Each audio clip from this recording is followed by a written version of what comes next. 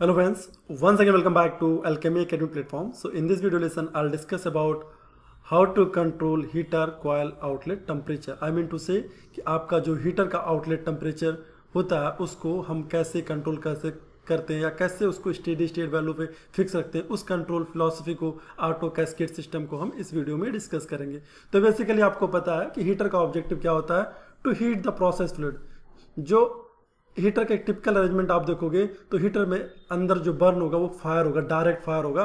Basically fuel gas fuel आएगा heater में, वो बर्न होगा और वो हीट ट्रांसफ़र करेगा।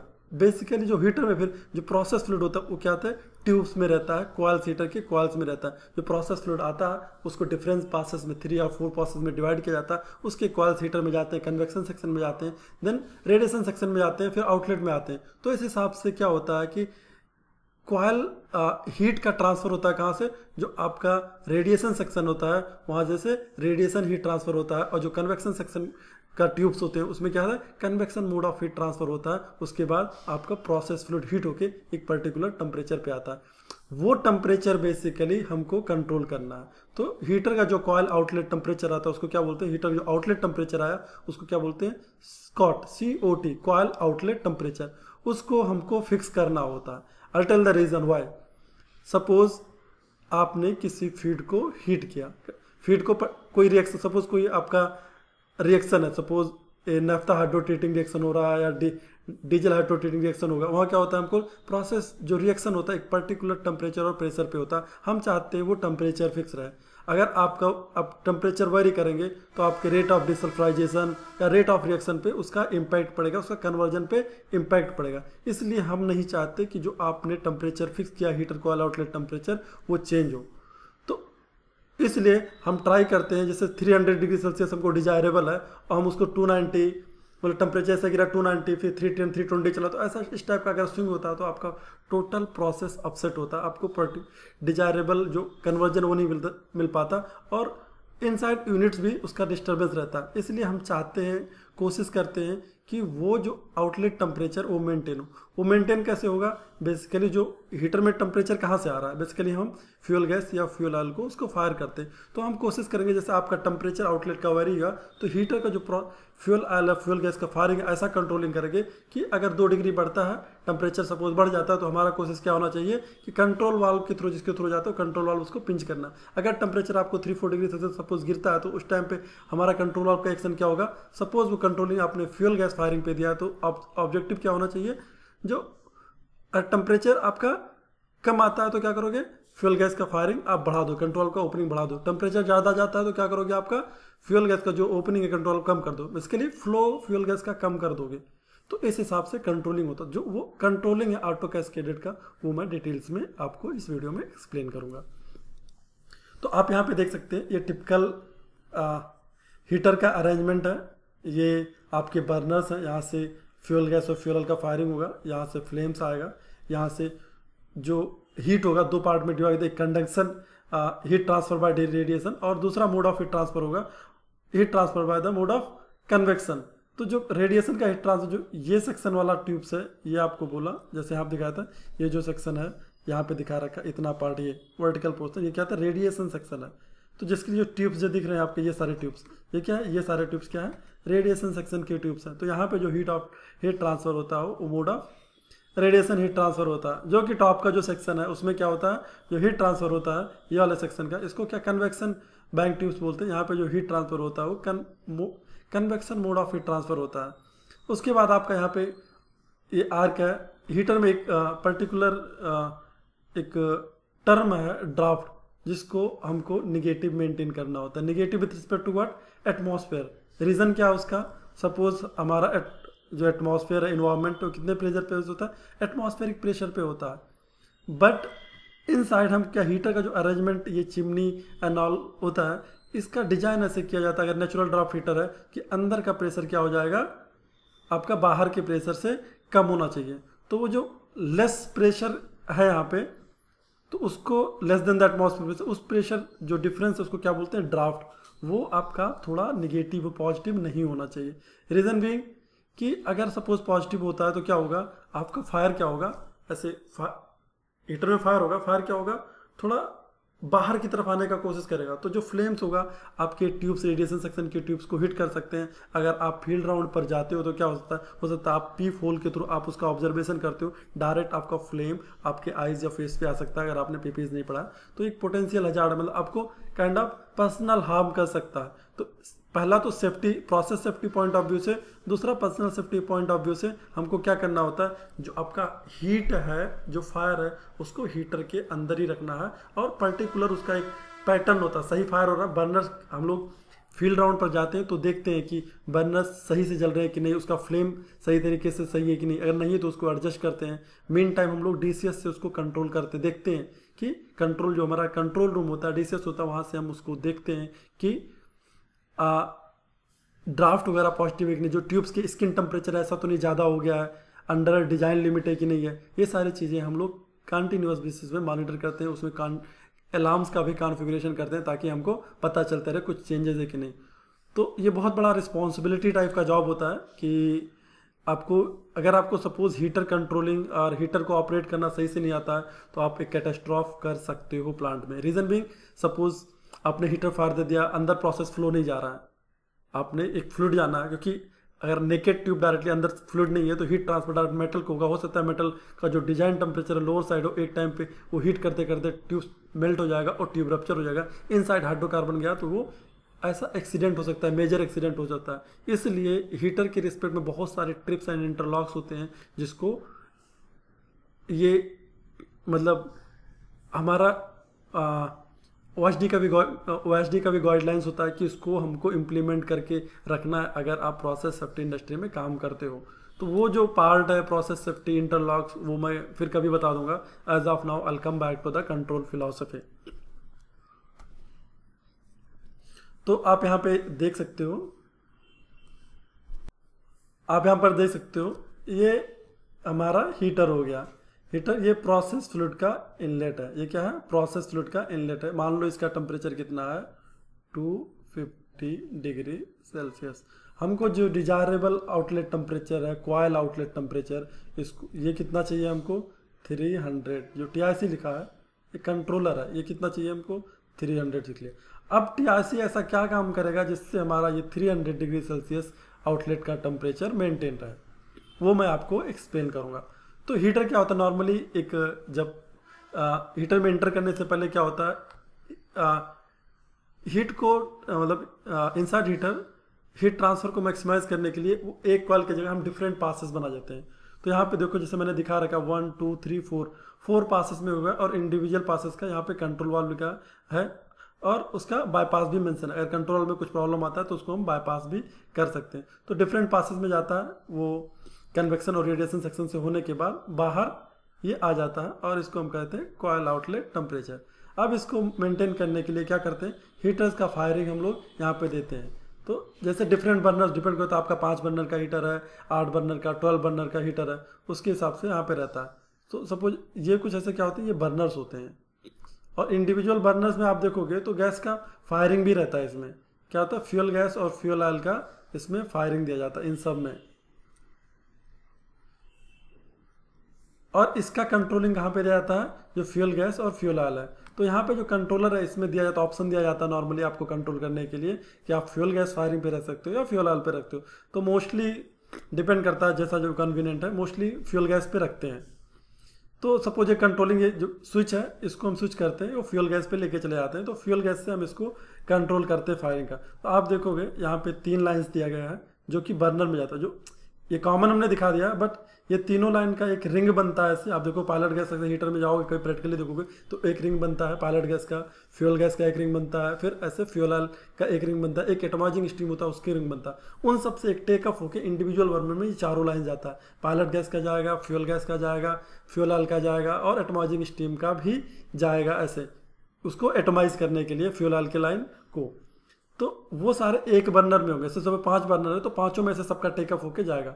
तो सबसे पहले जब हम हीटर को लाइटअप करते हैं, क्या पायलट लाइटअप करते हैं? पायलट लाइटअप मतलब पायलट गैस को लाइनअप करेंगे। इलेक्ट्रिक इग्नीटर होता है, उससे हम लाइटअप करेंगे, वहाँ से फ्लेम बनेगा। एक बार पायलट लाइटअप हो गया तो फ्यूल गैस के बर्नर को हम लाइटअप करते हैं फ्यूल ऑयल को। अगर फ्यूल गैस फ्यूल गैस को सिंपली हम लाइनअप करेंगे फायर बढ़ने लगेगा फ्लेम पैटर्न देखेंगे, सही है? तो ओके है। सिमिलरली अगर ऑयल को करते हैं तो क्या करेंगे सबसे पहले? हम पहले ऑयल वाली लाइन को फ्लश करते हैं स्टीम से, उसके बाद फ्यूल स्टीम लाइनअप करके धीरे धीरे ऑयल लाइनअप करते हैं, उसके बाद वो एटमाइज होता है। एटमाइजिंग फॉर्म की तो वो एटमाइज होकर थोड़ा वेपर फॉर्म में आता है और ऑलरेडी पायलट गैस का फायर रहता है, उसको पकड़ लेता है ऑयल को, वो कीप्स बर्निंग ऐसा वो बर्न करने लगता है। जब ये बर्न करता है तो क्या हीट ट्रांसफ़र देता है रेडिएशन और कन्वेक्शन सेक्शन में, जिससे जो प्रोसेस फ्लूड आपका आ रहा है, वो हीट होता है और आउटलेट होके जाता है। अब ये जो आउटलेट है, आप डिपेंड करता है, आप यहाँ पे कैसा फायरिंग दिया। अभी सपोज़ फायरिंग ज़्यादा दे दिया आपने स्टार्टिंग में, ये टेम्परेचर सडनली ड्रास्टिकली बढ़ेगा। तो आपको क्या करना धीरे धीरे फाड़ देना इसको आउटलेट टेम्परेचर को देखते हुए। ओके आपने एक बार ये स्टेडी स्टेट हो गया, इसको आपने स्टेब्लिश कर लिया। सपोज़ हमको 300 डिग्री सेल्सियस चाहिए, इसको मैनुअली आपने एडजस्ट कर लिया। एक टाइम के बाद जब स्टेडी स्टेट आ गया तो हम चाहते हैं इसको कंट्रोलिंग दे दें कि ताकि हमको मैनुअली कुछ ना करना रहे ऑटो कैस्केडेड मतलब अपने आप ही काम करता रहे। तो उसके लिए क्या होता है, हमारा कंट्रोलर होता है। कंट्रोलर मतलब नॉर्मली क्या होता है, ये मास्ट कैस्केडेड कंट्रोल होता है। जो पहला कंट्रोलर है हमारा, इसको क्या बोलते हैं फ़ेज़ कंट्रोलर का फ़ेज़ प्लेट बोलते हैं। ये जो फ़ेज़ प्लेट है, इसको पहले वाले कंट्रोल क्या बोलते हैं? Primary controller. क्या बोलते हैं इसको? ये प्राइमरी कंट्रोलर है। Primary controller. और ये जो दूसरा वाला इसको क्या बोलते हैं? Secondary controller secondary controller. Secondary secondary controller कहीं कहीं इसको बोलते हैं मास्टर मास्टर कंट्रोलर इसको बोलते हैं स्लेव कंट्रोलर अब आप यहाँ पे देखोगे, जो ये कंट्रोलर है, इसका फेस प्लेट में क्या है? एक साइड आप देखोगे, ये टेम्परेचर का रेंज है। जो राइट साइड दिख रहा है, ये टेम्परेचर का रेंज है। लेफ़्ट साइड आप देखोगे कंट्रोलर ये एमबी का वैल्यू है। ये मैनुपुलेटेड वेरिएबल जो होता है तो इसमें जब फेस प्लेट आप देखो, तीन चीज़ें रहती है। पीवी मतलब प्रेजेंट वैल्यू होता है एस मतलब सेट वैल्यू होता है एमबी मतलब मैनुपुलेटेड वेरिएबल होता। है तो हमने तो मैनुअली इसको सेट कर दिया तो टेम्परेचर तो हमको पता है जो प्रेजेंट वैल्यू आ रहा है। सपोज़ वो टेम्परेचर आपका उस टाइम पे क्या आ रहा है? थ्री हंड्रेड डिग्री सेल्सियस मतलब आ रहा है। यहाँ पे जो थ्री हंड्रेड डिग्री सेल्सियस का एक वैल्यू है, वो भी मोस्टली रीड जब आपका मैनुअल में रहेगा तो दोनों सेम रहेगा। थ्री हंड्रेड डिग्री सेल्सियस का कुछ एमबी अब स्टार्टिंग में आपको ये सीखना है कि नॉर्मली सब मैनुअल में करेंगे ना। तो मैनुअल में क्या होता है कि हम लोग रिवर्स जाते हैं। इसको पहले क्या करेंगे हम लोग? सेट वैल्यू चेंज करेंगे, इसका चेंज करेंगे। वो मैं कन्वर्जन आपको बताता हूँ। नॉर्मली पहले मैं दिखाता हूँ, ये इसका, ये एमबी कैसे जनरेट होता है? सपोज़ ये नॉर्मली स्टेडी स्टेट वैल्यू है, अब हमारे पास इसका रेंज ये कंट्रोलर का हमने 300 सेट वैल्यू दिया, और ये थ्री नाट टू है अप्रॉक्सीमेटली अगर ये एम जनरेट करता है सपोज़ 40 ये 40 एक एमबी जनरेट करता है, जिसको ये यहाँ पे आके एक सेट वैल्यू देना है। तो इसका एमबी कितना आपको देखोगे यहाँ पे, ये 40 उसने एमबी दिया। इसका जो एमबी का रेंज क्या है? डिवाइड बाय हंड्रेड अब यहाँ पे जो, ये जो कंट्रोलर इसका एक साइड में ये कंट्रोल ये कंट्रोल वाल्व का ओपनिंग है। Zero means control valve close M B अगर ज़ीरो आ जाएगा तो क्लोज हो जाएगा। ये ओपन है मतलब हंड्रेड परसेंट तो इधर साइड का जो आप लेफ़्ट साइड का ये मार्क देख रहे हो, ये क्या दिखा रहा है? आपका कंट्रोल वाल्व ओपनिंग और ये जो मार्क दिखा रहा है, आपका क्या दिखा रहा है? फ्लो फ्यूल गैस का फ्लो अब ये जो सेट वैल्यू उसने तो एम जनरेट कर दिया प्राइमरी वाले ने कि हमको फोर्टी चाहिए इतना मेंटेन करने के लिए। तो क्या करना है? ये यहाँ पे सेट वैल्यू है तो वो सेट वैल्यू क्या करेगा? आपका फ्लो के रिस्पेक्ट में हमको सेट वैल्यू देगा ये। तो हमें इसका रेंज कितना है? ज़ीरो टू फिफ्टीन हंड्रेड मतलब ये फिफ्टीन हंड्रेड अब यहाँ से आप कट करो, इसको कट करो। फिफ्टीन फोर जा सिक्सटी अगेन वन ज़ीरो मतलब ये क्या हो गया? सिक्स हंड्रेड तो ये सेट वैल्यू कितना दिया? सिक्स हंड्रेड अब मान लो हमारा जो फ्यूल गैस का उस टाइम का फ्लो था फाइव नाइन्टी था। क्या था? फाइव नाइन्टी था। बट यहाँ पे प्राइमरी कंट्रोल ने बोला, नहीं, हमको क्या चाहिए भैया? हमको यहाँ सिक्स हंड्रेड चाहिए। तो जो ये सिक्स हंड्रेड का है क्या होता है? टेन डिग्री का, जो फ्लो का टेन डिग्री का डेल्टा क्रिएट हुआ। तो ये कंट्रोलर क्या करेगा? पहले यहाँ ओपनिंग कितना था? एम बी था। तो वो क्या उसके स्लोली उसका ट्यूनिंग किया जाता है कंट्रोलर का। ये स्लोली ओपन करना स्टार्ट करेगा ताकि ये फ्लो सिक्स हंड्रेड पे चला जाए। करेक्ट तो ये धीरे धीरे जैसे सिक्सटी ओपनिंग था तो ये जो मूव करेगा सिक्सटी वन, सिक्सटी टू ऐसा करके, जब तक ये सिक्स हंड्रेड पर पहुँच नहीं जाएगा।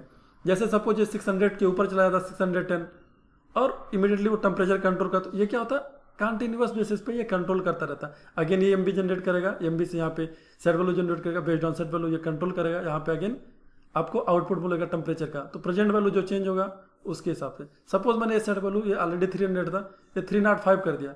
तो क्या करेगा? इसके हिसाब से थ्री हंड्रेड फ्लो था सेट वैल्यू में थ्री नाट फाइव कर दिया। तो क्या करना? है ये धीरे धीरे क्या एमबी बढ़ाएगा अपना। एमबी बढ़ाने के साथ ये क्या सेट वैल्यू यहाँ पर इसका चेंज करेगा।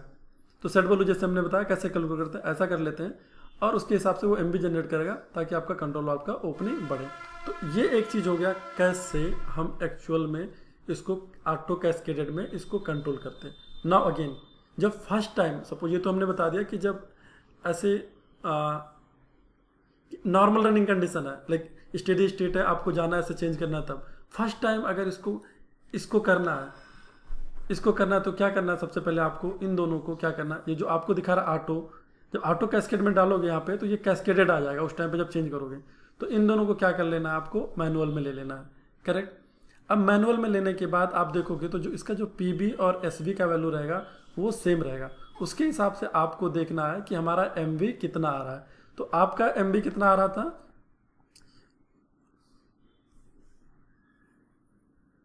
आ, आपका यहाँ पे देखना एम बी एम बी के हिसाब से आपको यहाँ पे आपको सेट वैल्यू पता है क्योंकि ये दोनों प्रेजेंट वैल्यू और जो सेट वैल्यू है ये दोनों उस टाइम पे जो प्रेजेंट वैल्यू मैनुअल वैल्यू दोनों सेम आ जाएगा।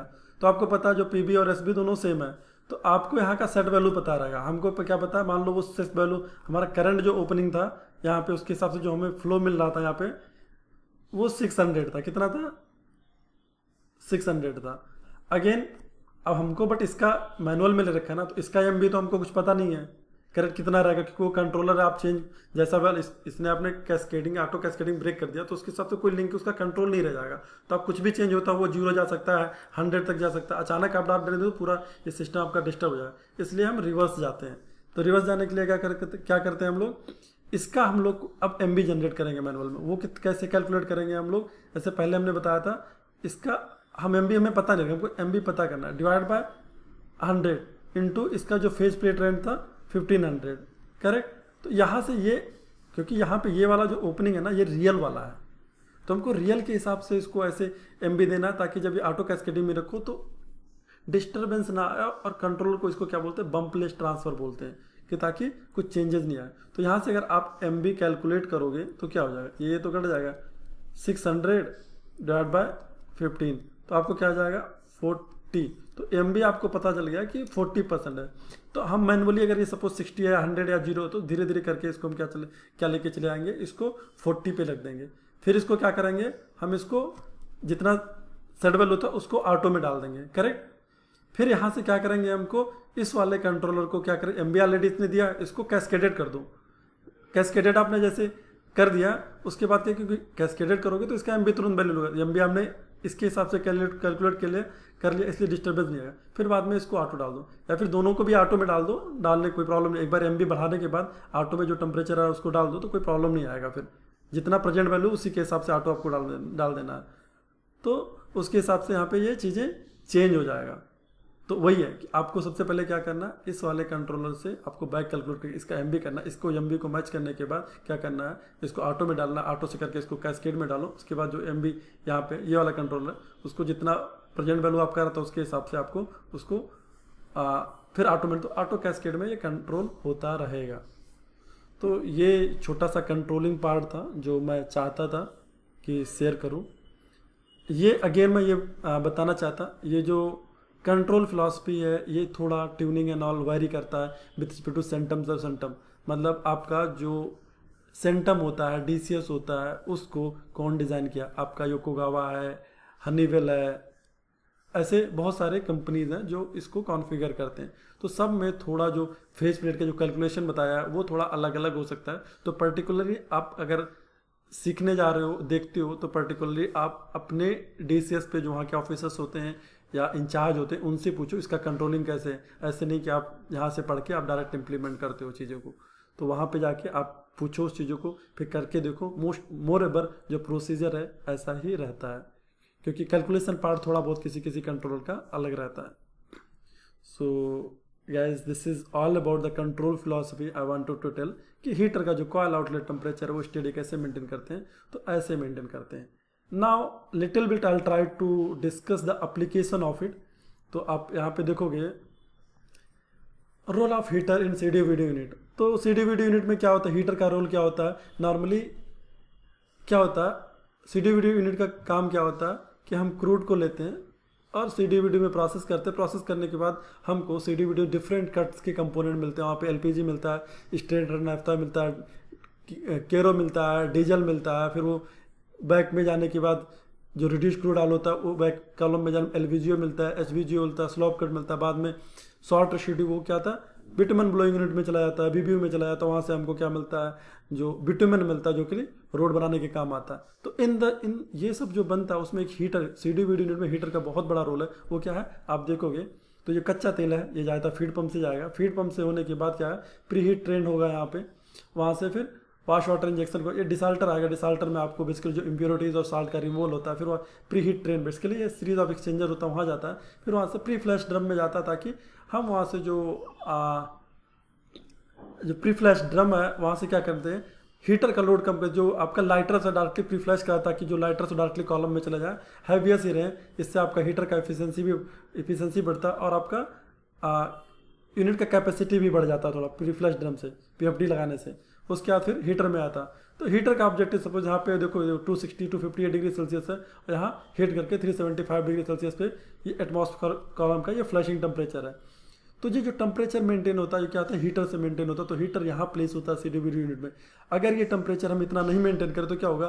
जो आपका फ्लैशिंग होगा, वो प्रॉपर नहीं होगा। तो जो आपका कट का सेपरेशन होगा डीजल केरो ये सब का, वो प्रॉपर नहीं होगा। वो मिक्स हो जाएँगे और आपका इम्प्योरिटीज थोड़ा मिक्स होगा, आपका प्रॉपर सेपरेशन नहीं होगा, हो सकता है आपका जो एटमॉस्फेयर रेसिड्यू है क्रूज रिड्यूस क्रूड है, उसका जनरेशन मोर हो जाए। इसलिए एक पर्टिकुलर टेम्परेचर हमको यहाँ पे फिक्स करना होता है। तो ये होता है हीटर का रोल क्योंकि बेसिकली सी डी यूनिट क्या है? डिस्टिलेशन कॉलम होता है। डिस्टिलेशन कॉलम में क्या होता है?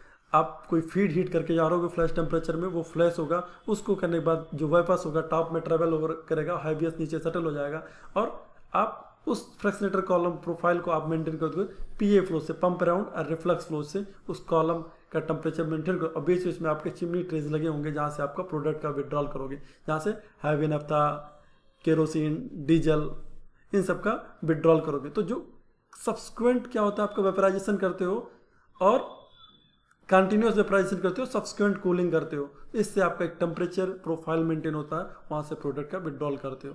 तो ये है आपका मैं बताना चाह रहा था, हीटर का इंपॉर्टेंस क्या है? सी डी वीडियो यूनिट में। Now coming back to